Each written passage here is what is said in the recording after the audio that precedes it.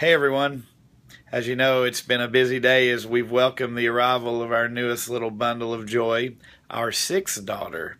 And at this time, we'd like to introduce you to Meraline Everleigh McClure. She's a beautiful, sweet little blessing, and we couldn't be more excited. There's Miranda, uh, just a loving mother just something we couldn't be more proud of.